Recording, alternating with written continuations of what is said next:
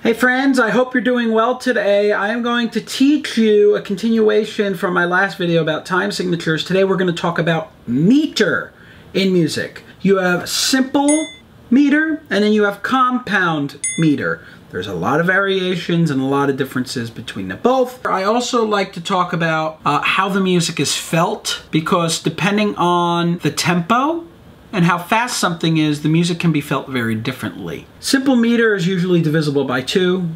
Compound meter is usually divisible by three. What I like to do uh, to explain it to people is you have very square sounding music. One, one, two, one, two, one, two. then you have stuff that feels like a waltz. One, two, three, one, two, three, one, two, one, two. Let's look at some real life examples and then we're going to learn how do we count the music? How do we know which notes get the beats when we look at a piece of music? So we have Dona Nobis Pacem. It's in 3-4, um, which means the top note uh, tells you that there are three quarter notes in each bar. Now, this doesn't tell us how fast it is in this version of the of the song. But usually it's a slow do na no bis pacem pacem. Knowing that it's a slow three tells me that the quarter note is probably going to be where the emphasis of the beats are. Do two three one two three one two three one two three. In this situation, I would say the quarter note does get the emphasis of the beat, because that's just naturally what this is doing. Let's look at another example. If we look, this one is also in 3-4, three quarter notes per bar. Because we know what this song is, we know raindrops on roses and whiskers on kittens. You could count this in two different ways. You could count it in three. One, two, three, one, two, three, one, two, three, one, two, three, one, two, three, one, two, three. Or, depending on how fast you go, you could count it in one. One, one, one, one. Because the emphasis of the beat, you don't sing raindrops on roses and whiskers on kittens. That doesn't sound natural. Raindrops on roses and whiskers on kittens. The beginning of each bar gets the emphasis not all the little subdivisions, which are what these would be if we were to count this in one. So, a 3-4 bar can be counted in either one or in three.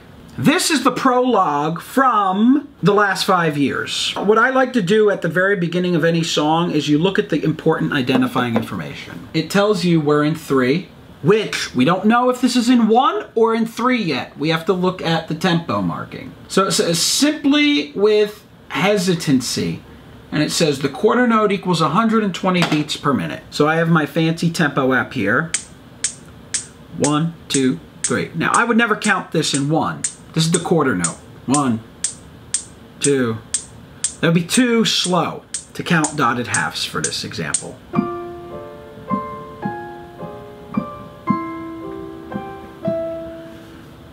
That's how fast it goes. So this would be in counted in three. Now let's look at another example from this score. Still hurting. So in the score it says it's in 9-8. 9 eighth notes. It says that the dotted quarter note equals about 64 to 66 beats per minute. To make this really simple, this whole thing is in 3. Because if you look at how it's how it's marked, you have one, two, three. A one, two, three, two, two, three, three, two, three, one, two, three, one, two, three, one, two, three. I wouldn't sit here and go one, two, three, four, five, six, seven, eight, nine, one, two, three, four, five, six, seven, eight, nine, one, two, three, four. You wouldn't subdivide the bar like that. That doesn't feel natural to do. So you would count this in three. This is why I say my piano teacher used to tell me the top note is how many beats are in a measure and the bottom number tells you what note gets the beat. False.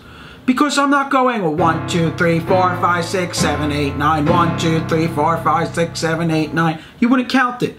You would count the bigger beats. So essentially 9-8 is also 3-4 with a triplet feel. Let's go to two more examples. I hope this is making sense. Um, tr I try to explain the best that I can what meter means um, in music. It's very, it's an abstract concept. It, it really is it's a language unto itself. Uh, this is from Company. This is the the Getting Married song. It's in four, and it says Largo, which in music in Italian it's it's slow. This is slow four, but that's wrong because how we know this song, if we listen to what it's what what's written. Two, three, four. That's too slow. Two, three, four, one. So I wouldn't count this in four. I would count this in two. Because if you feel the natural where the beats are, you have one.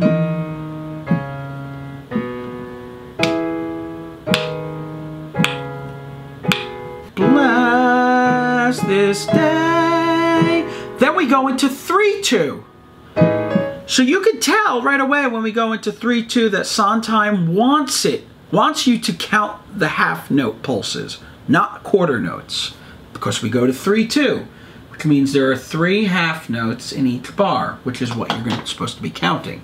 this one, two, one, two, three.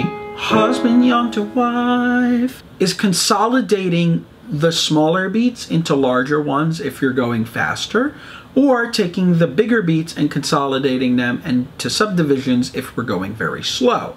You could have something that's in 3-4 that's really slow. One, two, three, one, and, but if it's that slow, I would subdivide it and count the eighth notes. One, and two, and three, and a one, and because it just makes sense musically that way. I don't know how else to describe this. I hope you enjoyed that video. If you want to see more, please give this a thumbs up, subscribe, and comment below and share it with your friends. I will talk to you soon. Bye!